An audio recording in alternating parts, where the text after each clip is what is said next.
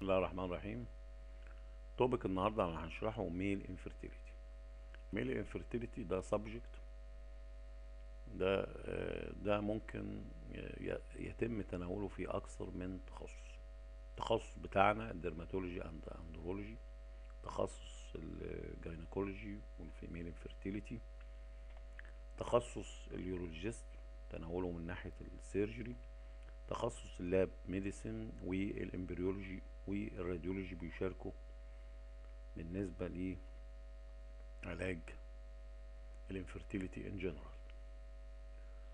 دي diagram بيوضح ال genital system ده يمثل ال testis seminiferous tubule convoluted tubule this is epididymis and this is vas deferens and this is ejaculatory duct this is prostate uh,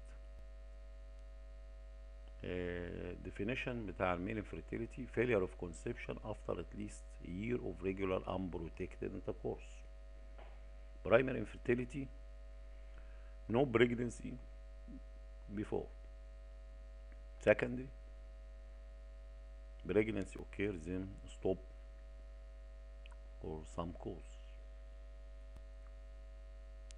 قبل ما نتكلم عن etiology of male infertility في incidence of male infertility لقينا الانسيدنس عموما تمثل 15 ل 20% of couple who are unable to conceive within one year 30% male factor 40% female 20% combined male and female and 10% idiopathic uh, causes functional or obstructive functional cause chromosomal and genetic disorder Klinefelter syndrome here Klinefelter the most common chromosomal disorder of male infertility patient had small firm sized testicle with low testosterone hypogonadism and gynecomastia and patient is some patients show foci of spermatogenesis and uh, sperm extraction done for intracytoplasmic sperm injection. But uh, most of patients had azoospermia diagnosis is by karyotyping chromosomal map 472XY. Second cause is pathological diagnosis or histopathological diagnosis. Tests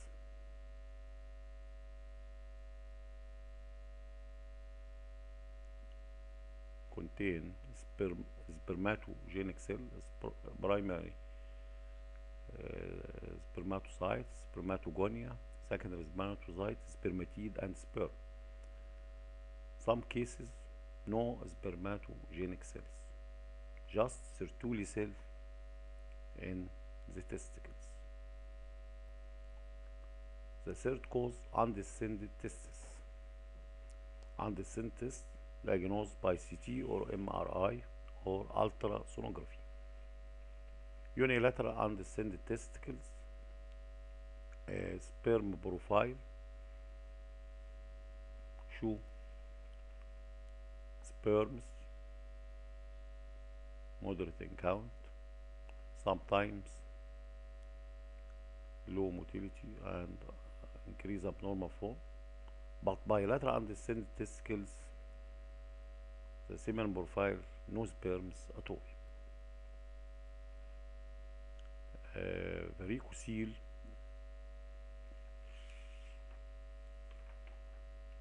one of the most common causes of male infertility. Varicocele is abnormal dilatation of veins of babiniform plexus of vein draining the testes. في dilatation في elongation thickening and tortuosity. More common in left side than right. في predominance of left varicocele due to left testicular vein is approximately 8 to 10 centimeter longer and left testicular vein drain at right angle into left renal vein while the right testicular vein drains obliquely into the inferior vena cava. Many theories of varicocele. Heat, increased heat, metabolite accumulation, elevated oxidative stress, epididymal dysfunction. Still now, theories. No detectable causes proved. Clinical grades of varicocele. Grade 1 palpable during Valsalva maneuver. Palpable at rest but not visible. Grade 2. Grade 3 visible and palpable at rest. Subclinical not palpable or visible at rest or during Valsalva maneuver but demonstrated by duplex ultrasonography.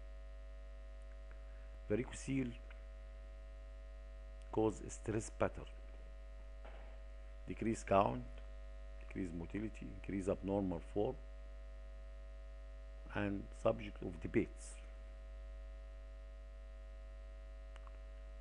Some clinician recommend varicocelectomy, others treatment and wait. The second cause or the fifth cause hypogonadism. Hypogonadism means low testosterone. You must measure total or free testosterone and hyperprolactinemia increase prolactin. Increase prolactin may be prolactinoma, adenoma,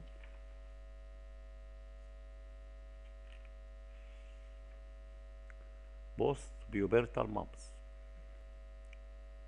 Mumps viral infection for care after puberty lead to infertility. Affection of testicles. After leprosy, sometimes orchitis occur. Chemicals. Some patient treated by cancer chemotherapeutic and this affect spermatogenesis. Radiotherapy affects spermatogenesis. Excessive heat exposure also affects spermatogenesis. Idiopathic infertility ودي بتمثل 10% of cases. Obstructive causes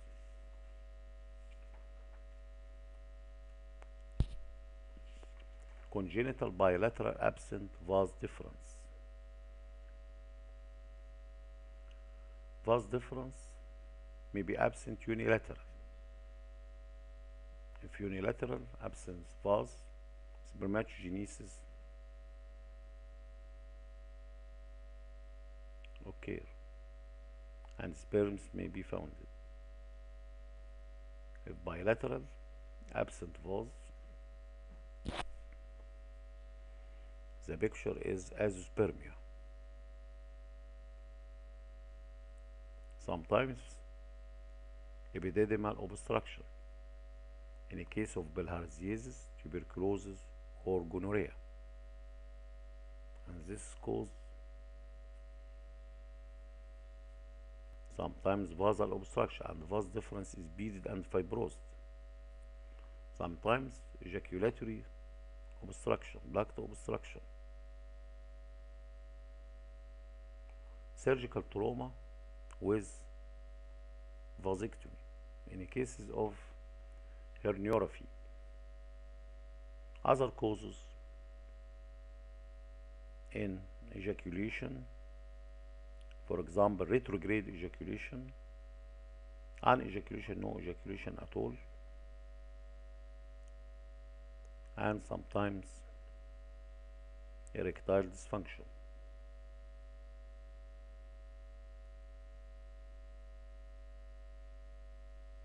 Or other causes immunological infertility.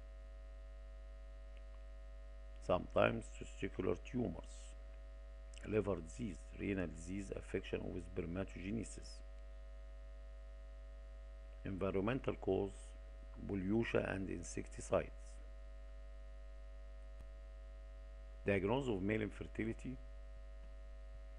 history and clinical examination هي يجب إن مريض ال male infertility قبل ما تعمل له examination تاخد منه history كويس.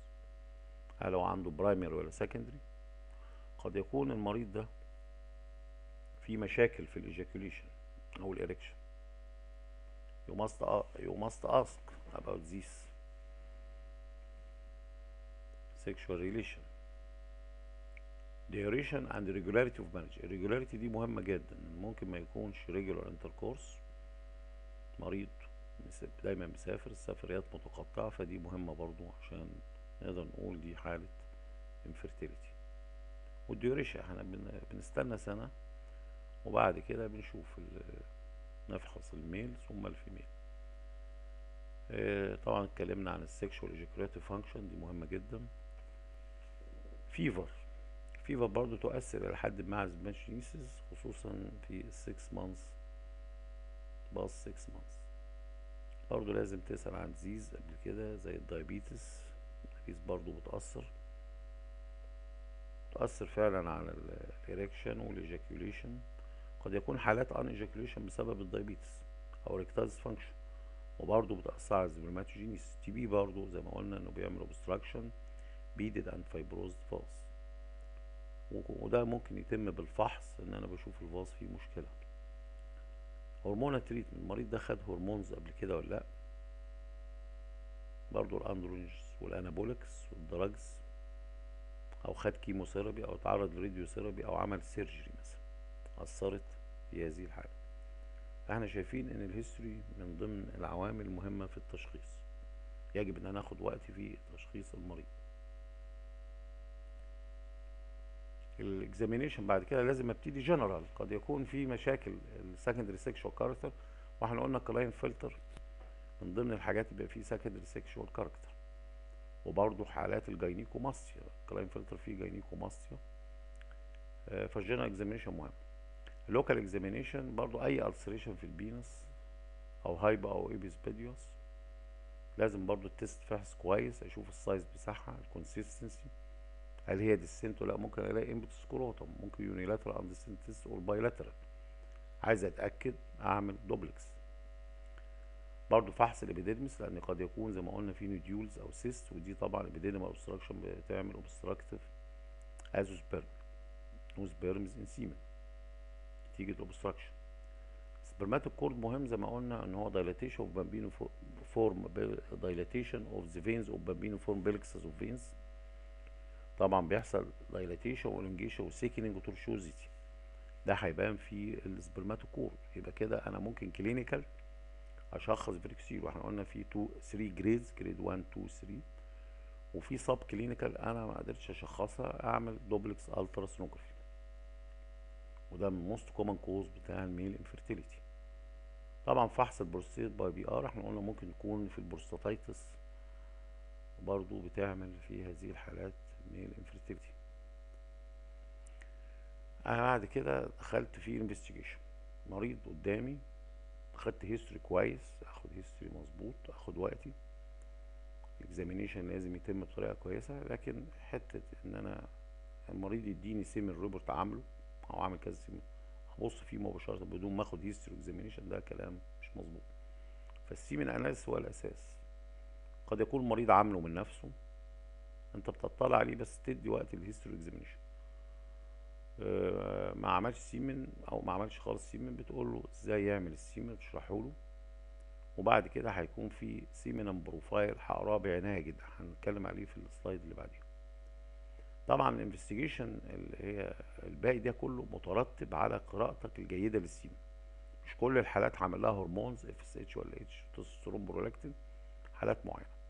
لما بشوف حاجة معينة هرجع تاني لل slide دي. آه مثلا ال scrotal ultrasound sonography أو دوبلكس شاكك آه clinical أو في subclinical varicocele أو مش قادر أشخص varicocele أعمل scrotal ultrasonography آه هنا برضو في مشكلة مثلا حسيت ال vas deferens beaded أو fibrosed أو في مشكلة. فطبعا هعمل transrectal ultrasonography برضو في مشاكل prostatitis. برضو أي مشكلة في البروستيت أو ال seminal vesicle ejaculatory duct هشخصها بال transrectal ultrasonography آه، برضو المريض آه، لقيت small firm size testis بالفحص و gynecomastia والمريض الطول بتاعه مش طبيعي يبقى هنا في هذه الحالة آه، أعمل karyotyping أو chromosomal map اللي هو 47 10 إكس واي يبقى ده مريض كلاين فلتر كده اتاكد بالتشخيص. testicular biopsy الحقيقة ك diagnostic إحنا دلوقتي بنعتبرها diagnostic و therapeutic مش كل مريض هعمله testicular biopsy أنا دلوقتي آه، عايز افرق بين ال functional obstructive cause أو شك في obstruction هعمل testicular biopsy وخلي ال testicular biopsy دايما مش نهاية المطاف لا أنا لو في obstruction ابقى جاهز إن أنا أعمل testicular sperm extraction عشان أجري له بعد كده ال ICSI نبتدي بقى بال semen analysis الحقيقة في standard semen analysis أو اللي هو WHO عملته سنة 1999 ال report لازم يتكتب بعناية جدا. ال name بتاع ال patient ال date لازم تحدد ال abstinence period تتكتب في التقرير. ال method of obtaining specimen طبعا أفضل طريقة في ال lab. أما تتجاب في ال home العينة وممكن تتعرض للحراره أو التلف أو جزء منها يفقد ده مش مطلوب. أنت زي أي فحص عينة بتبقى physical character و microscopic character طبعا أنت بتشوف ال coagulum ده present في ال semen. ال semen بتاخده fluid وتسيبه شوية بيحصل له coagulation وبعد شوية بيحصل له liquefaction في خلال 10 to 20 minutes. ال volume بتاع ال semen ال normal من 2 to 6 ملم ال color طبعا translucent whitish gray odor طبعا characteristic ودي طبعا medico legal بتستغل الطبيب الشرعي في حالات الريب إن هو بيقدر يحدد إنه برضو ال odor مهمة في حالات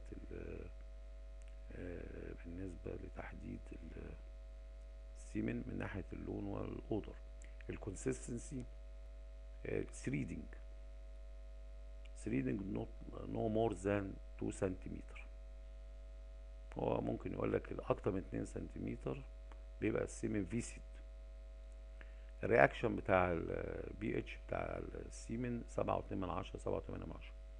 microscopic character هنا. طبعا بنبقى عندنا hemocytometer وبنفحص ال concentration بتاع ال sperm. فال normal values 20 to 25 20 to 250 million per milliliter من 20 ل 250 مليون total sperm count إنه طبعا ما يكونش يقل عن 40 مليون. وال total دي بتتحسب كمية ال ejaculate بالمليلتر تضرب في كمية ال sperm في المليلتر أو عدد sperm في المليلتر sperm motility بشوف ال field بتقسم إلى four categories rapid linear forward motility هتلاقي sperm في ال field rapid وبيتحرك خط مستقيم للأمام. ده على الأقل بيبقى يمثل خمسة وعشرين في المية من ال sperm اللي بتعدها في ال field ال category التانية slow linear non linear progression برضه تمثل خمسة وعشرين في المية. مش عارفين نفرق قوي بين ال rapid وال slow linear عايزة experience شوية. يبقى ال A وال B ما يقلوش عن 50% بنعتبر العينة normal motility ال group C non progressive non progressive motility وآخر group immotile ال immotile لا يعني إن هو dead ال immotile الحركة مش محسوسة خالص بالميكروسكوب العادي. وهنفرق إزاي بين ال immotile وال dead sperm ب stain اسمه eosin nigrosin stain فرق بين ال immotile وال dead وطبعا القراءات دي بتتم في خلال 60 minute من أخذ العينة. بعد كده بنبص على ال shape. ال shape مهم إنه لازم يكون normal في ال shape ال sperm. فهم لقوا إنه على الأقل 50% من العينة تعتبر normal وفي بعض ال reference 70% لازم على الأقل يبقى مش أزيد من سبعين في المية. وهنا مش أزيد من خمسين. يعني لو لقينا عينة أزيد من خمسين أو سبعين في المية فيها abnormal form يبقى ده برضو يعتبر مؤشر مش مظبوط. ال agglutination اللي هو بعض ال sperm تبقى agglutinated ما يزيدش النسبة دي عن عشرة في المية. ال round cell هي قراءة ال pus cells عشان أفرق بين ال spermatogenic cell وال pus cell تحت الميكروسكوب ده ما بيتمش بالميكروسكوب آه وحده الفحص لازم نعمل peroxidase stain peroxidase stain عشان أقول دي white blood cells pus cells or spermatogenic cell يبقى أي قراءة من غير peroxidase إحنا هنسجلها round cell والنسبة 0 to 10 per high power field وطبعا أفضل إن هي تبقى لو قلنا pus cells أكتر من 1 مليون بالمليلتر يبقى هنا في infection وهيعطى antibiotic ده ال normal semen أو standard semen 1999 ها بعد كده جه WHO طلعت آخر report في 2010 ال report ده بيقول إن ال abstinence period 2 to 7 days هناك كان 2 to هناك إحنا ما حددناش abstinence period معينة. ولكن كان بيقال انها من 3 to 5 days ولكن هنا حددها بقى 2 to 7 days بالنسبة لل abstinence period ال method of obtaining specimen طبعا لازم masturbation نكتبها. ال coagulum هنا present in fresh semen ال liquefaction within 15 minutes ال volume 1.5 مليلتر أو 1.4 to 1.7 color translucent to whitish gray برضو ال odor characteristics. threading more than 2 سنتيمتر reaction برضو 7.2 microscopic feature هنا في اختلاف شوية. إحنا قلنا 20 ل 250 مليون. هنا 15 مليون بالمليلتر من 12 ل 16 مليون بالمليلتر total sperm count هنا 39 مليون. per ejaculate 33 to 46 sperm motility progressive motility هنا 32% 31 to 34 total motility تشمل progressive زائد non progressive على الأقل تبقى 40% 38 ل 42 ال immotile ليها باقي النسبة. يعني أنت تقول الحالة normal إن يا إما progressive 32 أو total progressive plus non progressive 40% ال normal sperm form هنا 4% هناك إحنا قلنا العينة على الأقل يعني خمسين في المية أو سبعين. لكن هنا قال لك normal sperm form وجود أربعة في المية من تلاتة لأربعة ده بنعتبر الشخص ده normal ويبقى طبعا هنا في criticism وفي كلام كتير على هذه النقطة أو تحديدها في بالنسبة لل semen ريبول ده. agglutination برضو نفس الكلام 10% ال round cell هي نفس الكلام. ودي الاختلافات يجب إن إحنا نعرفها. آه وده اللي المفروض متبع في المعامل كلها هنمشي على ال WHO 2010 بالرغم من وجهت ليه انتقادات كثيرة. هنا بقى ال abstinence period عموما هناخدها. يعني هناك قلنا في ال WHO 99 3 to 5 هنا قلنا 2 to 7 مفيش خلاف كتير. method of collection لازم masturbation ال volume 2 to 6 مليلتر إحنا قلنا هناك ممكن يبقى 1.5 مليلتر نعتبر ده normal liquefaction 15 to 60 minutes. ال consistency برضو ما تزيدش عن 2 سنتيمتر بي اتش زي ما قلنا 6 و8 من 10 7 و2 من 10 motility عموما لو خدناها 50% more rapid and slow progressive. ولو خدنا هنا حسب ال WHO ده بالنسبة 99 لو خدنا بالنسبة ل WHO 2010 يبقى على الأقل تمثل 40% ال count 20 to 20 250 مليون بالمليلتر ده في ال WHO 99 أما ال WHO 2010 فإحنا قلنا في هذه الحالة 15 مليون enough. Abnormal form اللي هي مسار تساؤلات كثيرة جدا should not exceed more than 50% متزيدش عن 50% أو 70% في ال WHO 99 هنا قال لك أو هي حتى وجود 4% normal form enough. white blood cells لازم تبقى أقل من 1 مليون per ملليلتر وقلنا عشان نفرق بين spermatogenic و pus cell لازم peroxidase stain طبعا يجب إن ما يبقاش فيها ار بي سيز في ار بي سيز يعني هيموسبيرميا يبقى فيه مشكلة. قد تكون oxalate قد تكون sickle cell anemia أي infection وهكذا. طبعا ال structure بتاع ال sperm بالميكروسكوب كل ال andrologist أو المشتغلين في head وفي acrosomal cap وفي ده ال neck وفي هنا طبعا ال tail بتاع ال sperm. يجب هنا إن الشكل يكون typical ما فيهوش أي abnormality يعني ما يكونش فيه double head ما يكونش فيه bifurcated head ما يكونش فيه single head ما يكونش فيه tapering head ما يكونش فيه long tail double tail bifurcated آه برضو ال neck piece ما فيهاش فيها مشاكل. ال semen abnormalities بعض ال term يجب إن إحنا نعرفها بالنسبة لل undergraduate aspermia aspermia غير azoospermia aspermia no ejaculate مفيش ejaculation خالص. anejaculation قد يكون مريض diabetic أو في مشكلة ما. azoospermia no sperm in ejaculate after centrifugation لازم أعمل centrifugation كويس عشان أتأكد إن العينة ما فيهاش أي sperm hypospermia ال semen volume أقل من 2 مللتر أو لو هو أكتر من 6 مللتر بقى hyperspermia oligospermia ال sperm count less than 20 مليون لو اعتبرنا حسب الديفينيشن بتاع الدبليو اتش 99 أو أقل من 15 مليون لو الديفينيشن بتاع دبليو اتش 2010 اسينوسبيرميا less than 50% of sperm have progressive motility teratospermia abnormal form more than 50%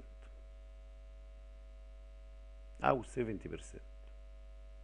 necrospermia all sperm are dead عشان اقول dead sperm يبقى لازم اعمل يوزين جريزيستين الفرق بين الاموتايلز or dead sperm biospermia bus cells more than 1 million هيموسبيرميا في ار بي سيز فاريكوسيز زي ما قلنا قبل كده بتعمل stress pattern اللي هو بيسموها ال OAT اللي هو تشمل oligoasthenoteratosperm بعد كده بنتكلم عن ال treatment of male infertility وده فعلا في debates كثيرة جدا. بنقسمهم إلى medical surgical وبعدين التكنيك اللي دخل في السنوات العشرين أو أو الثلاثين الأخيرة. اللي هو ال assisted reproductive technique وتطورات ال insemination اللي بتتعمل. medical treatment حسب ال cause. لو عندك مشكلة في الهرمونز اف اس اتش قليل هديله اف اس اتش ال اتش قليل. ودي حالات دايما اللي بنقعد فيها ال hypogonadotrophic hypogonadism FSH أو LH طبعا بروموكريبتين ده يعتبر عشان أقلل البرولاكتين في هذه الحالات. ال immunological infertility زي ما تعرضنا قبل كده في ناس بتدي steroids وبتعالج ال infection بال antibiotic ال antibiotic هنا لازم تعدي ال blood prostate barrier زي ال doxycycline وال quinolones وال macrolides في non specific treatment وأهمهم ال anti estrogen clomiphene citrate وفي ال antioxidant أو الفيتامين. طبعا زي ما قلنا إن في oxidative stress و DNA damage sperm DNA damage. طبعا وجود هنا ال antioxidant العلاج مهم جدا. وفي بعض الحالات بنعطي ليها تاموكسيفين برضو من ضمن ال anti-estrogen. ال surgical treatment عملية ال varicocelectomy مش هندخل في تفاصيلها عشان ال varicocele وقلنا دي عليها debates. وال pregnancy outcome بيختلف من حالة للتانية. آه في بعد كده ال epididymovasostomy عشان حاجات ال epididymal obstruction آه بعد كده ندخل في ال assisted reproductive technology أو ال ART في آه ال intrauterine insemination ال IUI وهنا في هذه الحالة بنستخدم ال husband بالنسبة للمنطقة بتاعتنا Middle East بعد كده في ال in vitro fertilization وفي بعد كده ال intracytoplasmic sperm injection ماذا يعني ال ART إن هي treatment أو procedures include handling of human egg sperm or embryo بغرض حصول ال pregnancy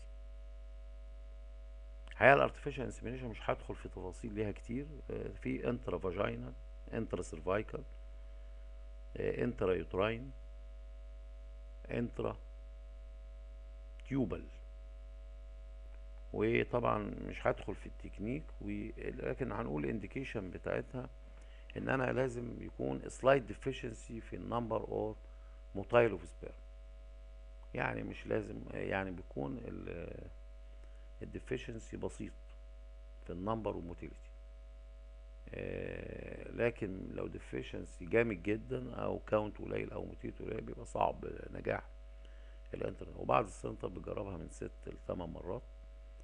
برضو في ال female cervical factor هنا ممكن نعمل ال intrauterine insemination حالات ال unexplained برضو. يعني أنا هجرب الأول artificial insemination ال in vitro fertilization أول first successful IVF أو in vitro fertilization كانت سنة 78 اللي هو آه، في هذه الحالة كانت أول حالة. مش هدخل في التكنيك بتاعها بس ال indication برضو لو sperm count weak motility or abnormal morphology قد تكون ال deficiency هنا أو ال count أكتر شوية. يعني ممكن في حالات بتوصل آه، آه، أقل من مليون. Woman with blocked fallopian tube يبقى هنا هتفيد في هذه الحالة. Ovulation problem برضو ال unexplained infertility أخيرا ال centers بتعمل intracytoplasmic sperm injection دي ال most common use nowadays طبعا هنا بنعمل ovarian stimulation ovarian monitoring وبعدين بنعمل ovum pick up ال ova injected with single sperm special needle بنستخدمها عشان نحقن ال sperm من خلال ال egg wall into cytoplasm بعد كده بنعمل incubation ل fertilized egg in special incubator وبعدين 1 to 3 embryos بننقلهم لل uterus 2 to 5 days after fertilization. بدون الدخول في تفاصيل indication بتبقى في ال male وال female أو both male and female لذلك أنا بقول إنه في teamwork دايما بيشتغل في الحتة دي عشان أعمل intracytoplasmic عايز معمل كويس بتاع embryology genetic كويس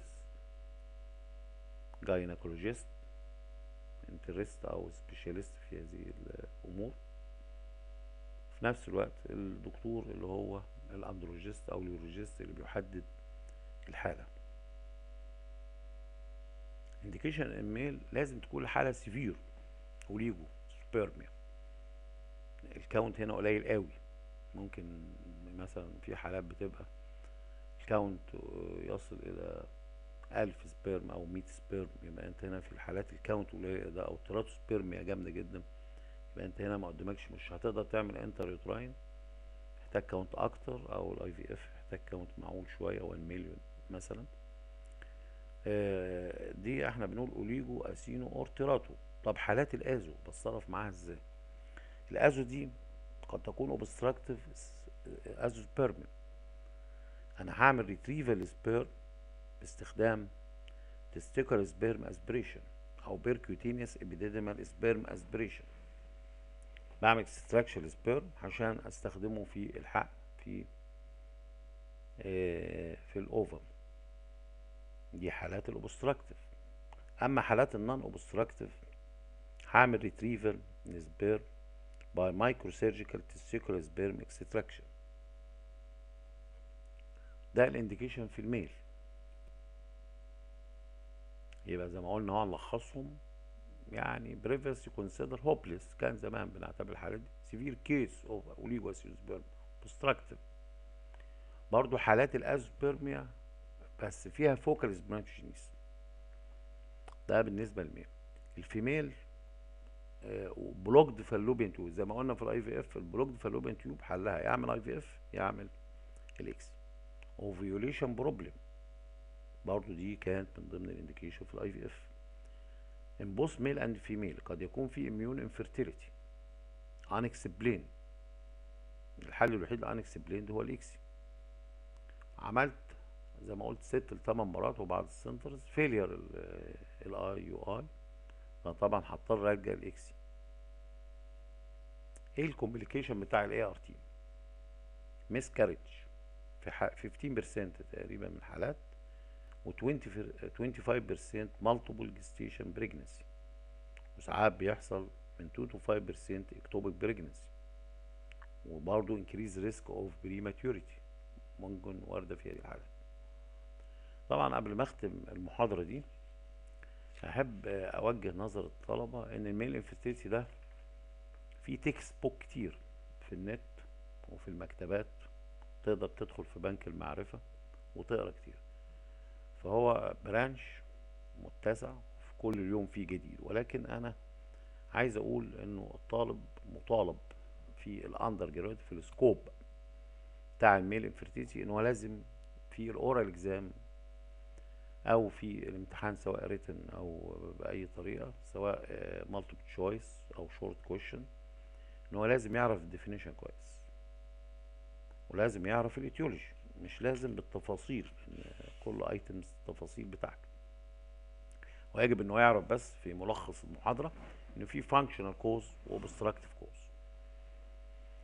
وإنه لازم يعرف ال seminogram كويس إزاي يقرأ ال semen بعناية.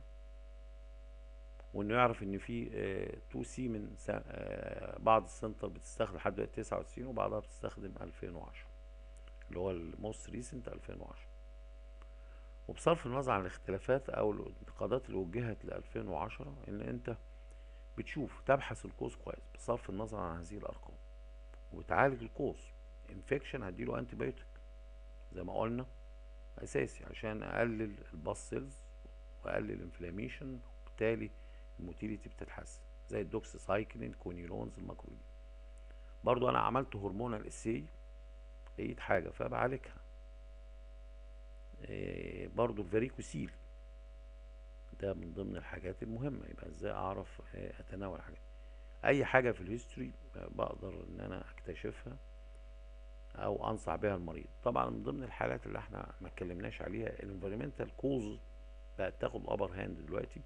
كان ما بقاش فيه تركيز اللي هي ال pollutions وال insecticide وال smoking. يجب إن إحنا نقول sperm DNA ده مش داخل تحتيها أو sperm DNA fragmentation دي مهمة جدا. الحقيقة ال weapon اللي في إيدينا ك medical treatment قليلة.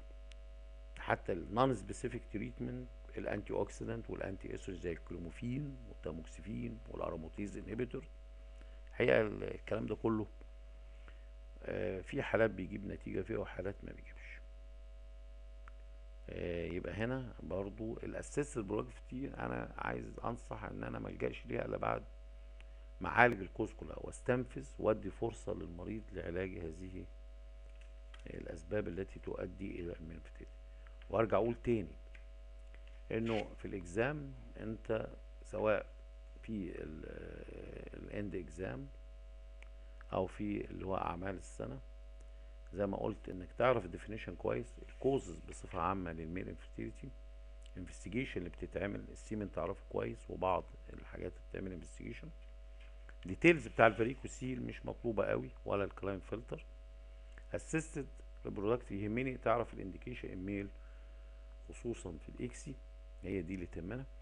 الجزء بتاع ال intrauterine وال IVF ده هيتم تناوله في ال male infertility ال female infertility في ال- الكورس بتاع ال gynecology وال obstetrics من ضمن الحاجات برضو أو الأسئلة اللي بتيجي treatment of male infertility لازم تبقى عارف إنك تقسمه medical surgical وتدي notes عن كل واحدة وال assisted reproductive technique ده بالنسبة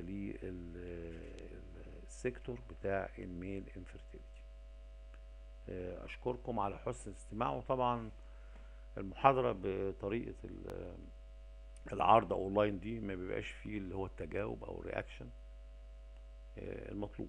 يعني طبعا للظروف الرهينه اللي إحنا فيها ظروف الكورونا ونرجو من الله أن يرفع هذا الب- البلاء آه، والابتلاء آه، آه، قريبا إن شاء الله. أشكركم وألتقي بكم إذا كان في العمر بقية في امتحانات آخر العام. شكرا.